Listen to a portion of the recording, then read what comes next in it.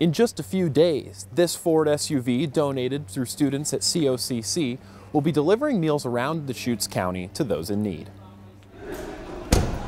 This is really going to help uh, impact our, our um, ability to bring those hot meals to our Meals on Wheels clients in South County.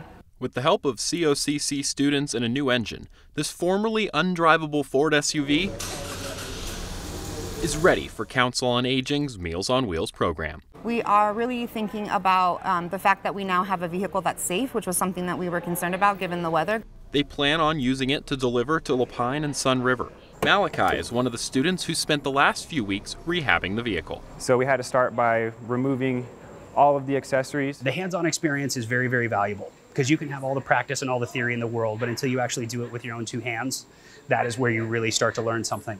After the vehicle was donated to COCC, Director Jared Green's group of students purchased the required part and completed the installation. I, I, think it's absolutely awesome. I thought it was just a customer's vehicle, and then once I found out it was actually going to a good cause, it really put more meaning behind the entire process. Basically To be able to do a project like this with students that is live, they know is going to be transporting food for a good cause. They really took ownership of it, and they really did a, they, they smashed it.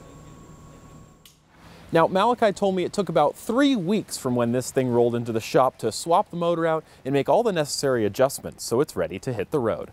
At COCC, Peyton Thomas, Central Oregon Daily News. Thanks for watching. If you liked this video, be sure to give it a thumbs up. Hit the subscribe button and ring the notification bell so you don't miss out on more videos from Central Oregon Daily News. And for more news from the high desert, just visit centraloregondaily.com.